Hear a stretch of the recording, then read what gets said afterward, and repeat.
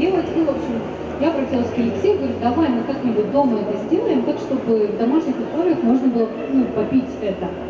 И чтобы я научилась. Потому что вкладываться в какую-то специальную посуду, когда ты не знаешь вообще, понравится тебе это, не понравится, именно в домашней обстановке, например, за завтраком пить или как-то, то ну, не будешь вкладываться в специальную посуду. Это бессмысленно. Любой здравомыслящий человек, который считает деньги, э, зарабатывает их честным трудом, он не будет этого делать. И мы взяли, значит, несколько образцов мати, мы взяли глубокие миски, и Алексей сказал, можно просто в глубокой миске делать это вилкой, как ты взбиваешь яйца с молоком, чтобы делать омлет.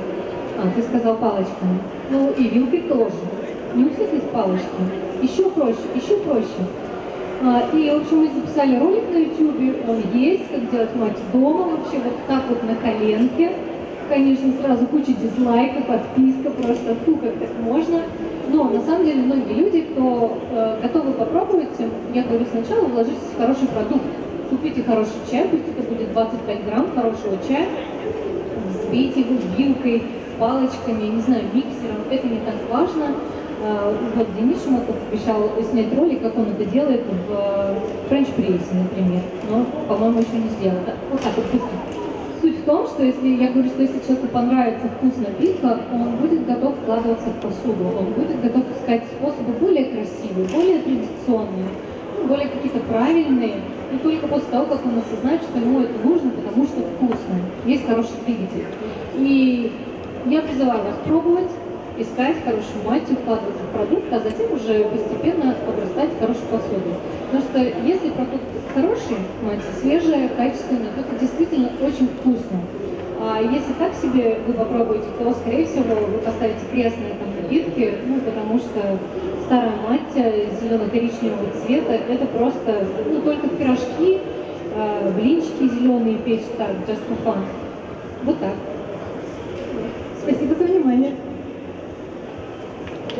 Полина Сагара, давайте поаплодируем как следует и найдем ее в Инстаграме и на Ютубе, потому что на самом деле там очень много интересного по разным чаям. И Полина человек, который прям ездит в Китай, на Тайвань, и на этих плантациях э, по-своему смотрит на чай, доносит такое видение э, ну, от простого к сложному, потому что на самом деле э, очень многие сферы мы боимся войти, потому что мы видим там кофемашина, дорогая, большая, сложная, без образования сложно подступиться, еще не на ту кнопку нажмет, взорвется, да?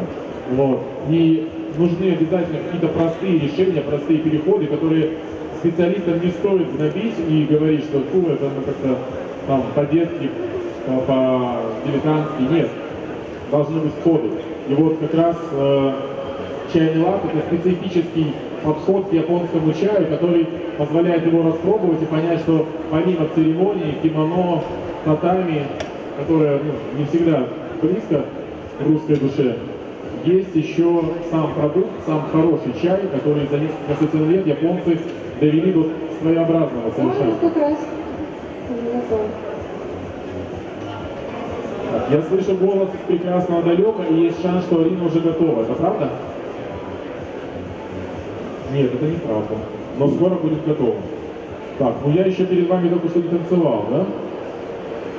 Может, у кого-то появился вопрос? Вот вы можете... А, все. Алина. Алина Никишова. Ну что, я готова начать? Гуще, гуще аплодисменты.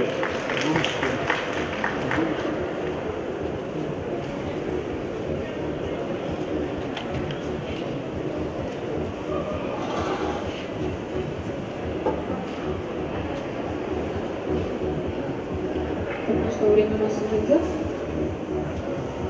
Тогда время. Добрый день, меня зовут Алина.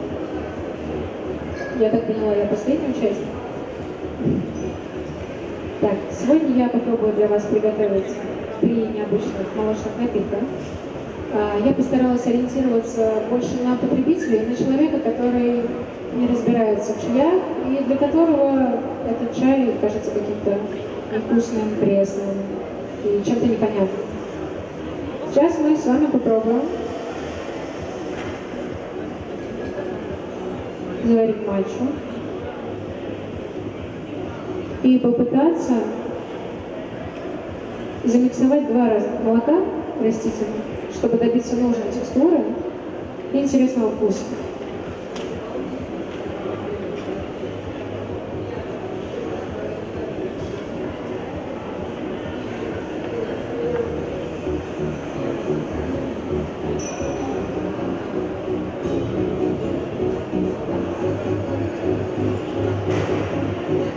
Так.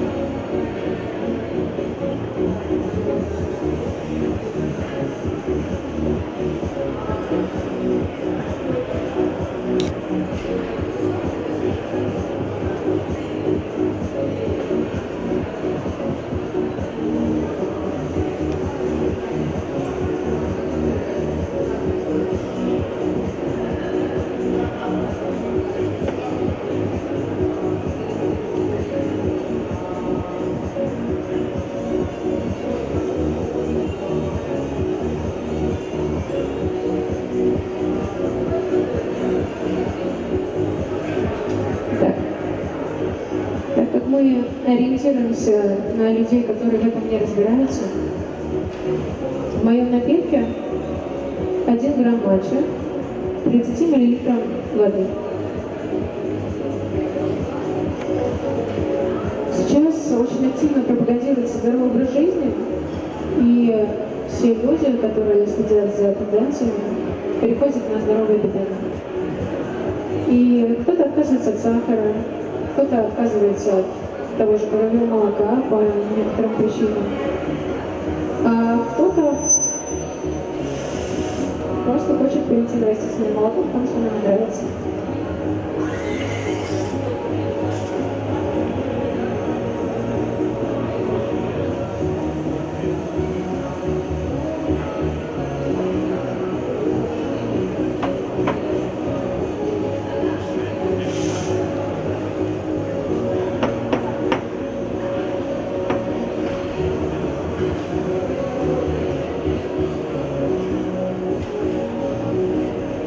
Посмотрите, какие отточенные движения. Это самый важный, самый интересный момент, как получается рисунок из чая и взбитого молока. Вот,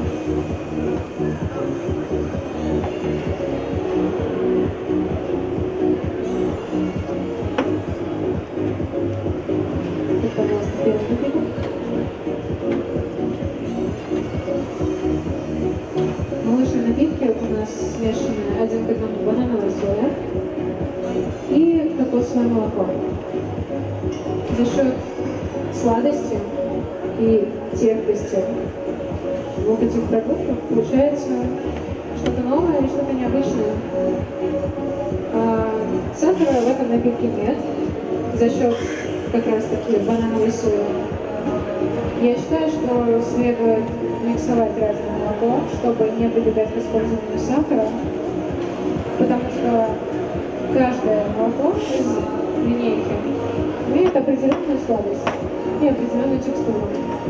И точно так же для того, чтобы заниматься ладарью на растительном молоке, я считаю, что следует прибегать к этому решению.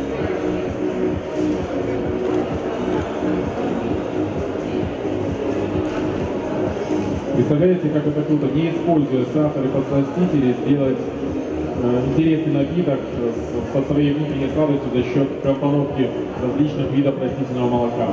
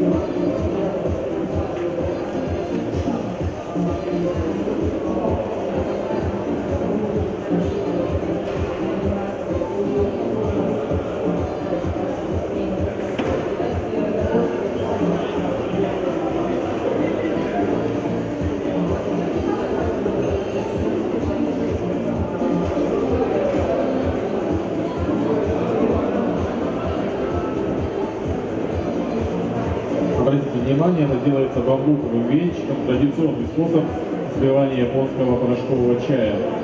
Ствол бамбука расщепляется на тонкие нити и закручивается.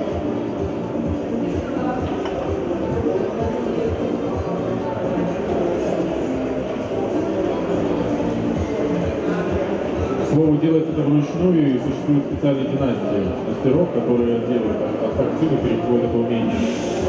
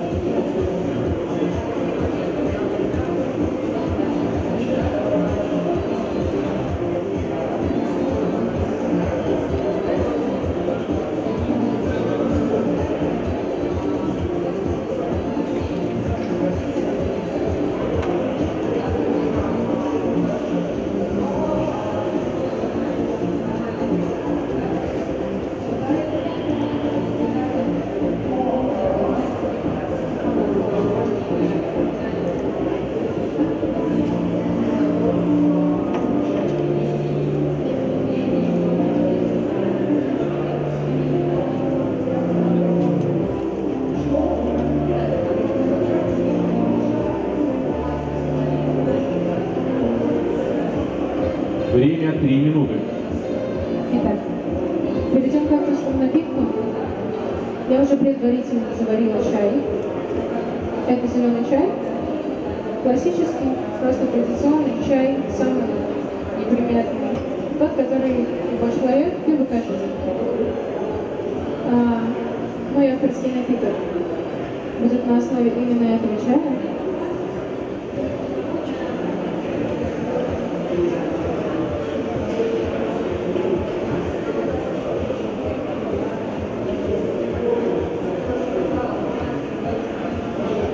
Добавлением миндального молока. И самое интересное здесь. Здесь у нас концентрированная, скажем так, заготовка, которую я вываривала сама из цедры грейпфрута и розмарина. Так как я придерживаюсь концепции замены сахара или полностью сахара из рациона, я все же добавила сахар, но это был тростниковый сахар, всего лишь 50 грамм на всю заготовку. Просто придал такую сладость и сгладил острые углы.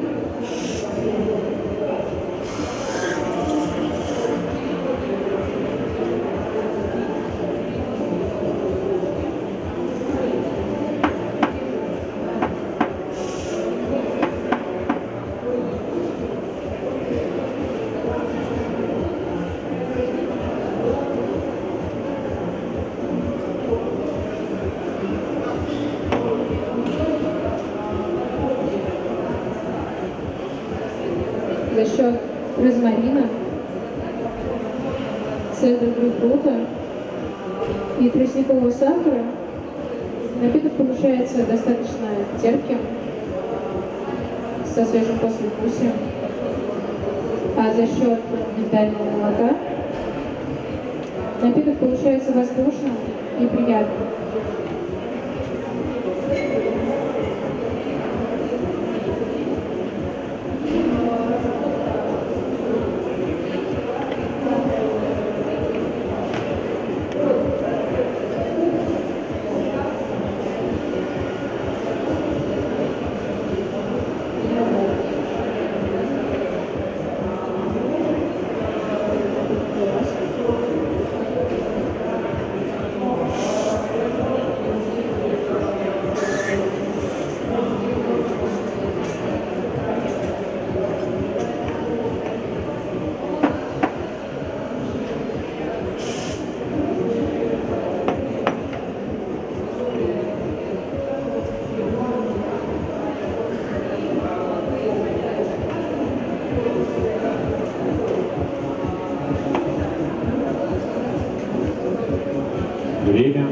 minutos.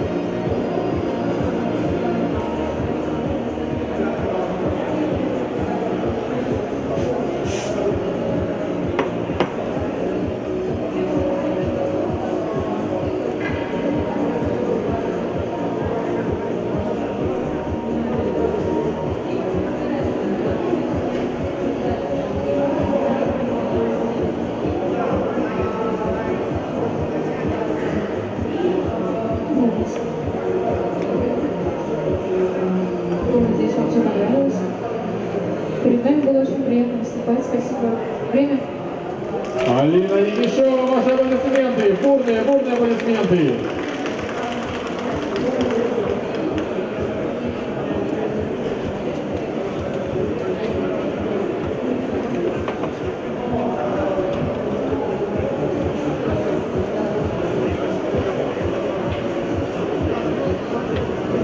Итак, дорогие друзья, остался еще один участник. Он уже здесь, он уже начинает готовиться. Вы там за кофемашиной можете уже маленький анонс увидеть его присутствие. Это Иван Гаврилов. Давайте поаплодируем его, поддержим. Он сейчас будет готовить свое место для выступления.